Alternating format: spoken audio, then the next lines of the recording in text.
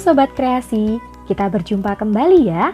Kali ini kita akan membahas tentang tata cara mendaftar guru belajar seri Asesmen Kompetensi Minimum atau AKM. Nah, program ini bertujuan untuk mendorong perbaikan dalam meningkatkan kualitas pembelajaran. Nah, untuk dapat mengaksesnya, kita dapat membuka browser, lalu mengetikkan alamat guru belajar.kemdikbud.go.id. Kita akan masuk ke portal ini.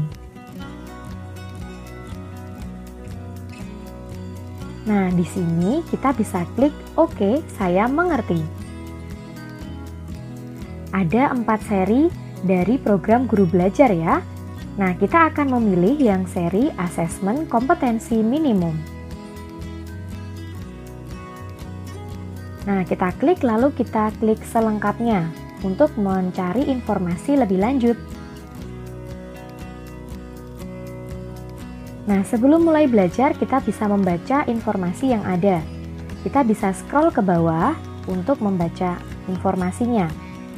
Nah, jadi program Guru Belajar seri asesmen kompetensi minimum ini sudah diluncurkan pada tanggal 22 Desember tahun 2020 yang lalu.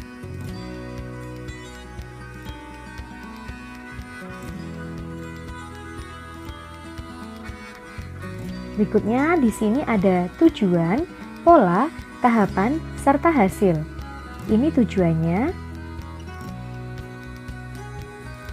Selanjutnya, yang bisa mengikuti guru belajar seri asesmen ini juga sudah tertera ya. Dan tentunya harus sudah memiliki akun SIM PKB. Untuk tahapannya ada dua. Yang pertama ada tahap BIMTEK, yang kedua ada tahap pengimbasan. Dan ini adalah jadwal pelaksanaannya, dimulai dari pendaftaran, dari tanggal 22 Desember 2020 sampai dengan 23 Februari 2021. Lalu ada 11 angkatan untuk pelaksanaan BIMTEK-nya. Dan yang terakhir ada tahap pengimbasan. Lalu kita klik masuk.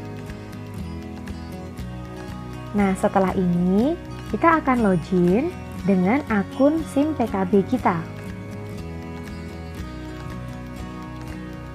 Nah, kita bisa menggunakan nomor UKG dan dengan domain @guruku.id. Kemudian kita masukkan passwordnya. Jika sudah kita ketikkan semuanya dengan betul, maka kita akan klik masuk.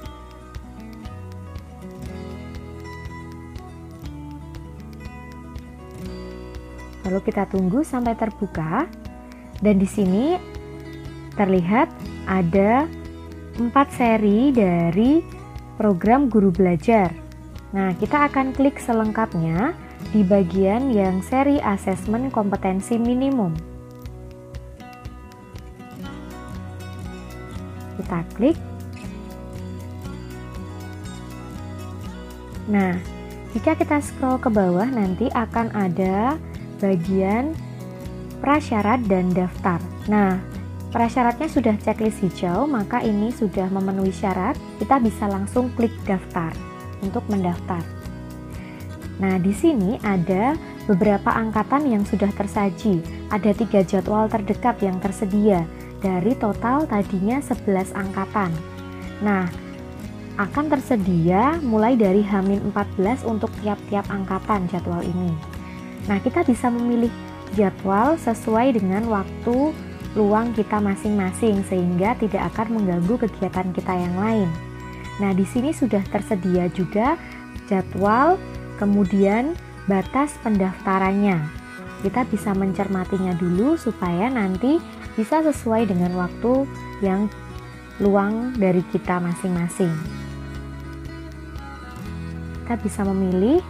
Nah, nanti jika angkatan satu ini sudah selesai batas pendaftarannya, nanti akan bertambah lagi untuk angkatan yang berikutnya. Jadi kita bisa pilih satu dari tiga yang tersedia ini. Jika sudah yakin kita bisa klik pilih angkatannya, lalu kita bisa klik daftar. Nah, lalu ini jika sudah yakin kita bisa klik ya.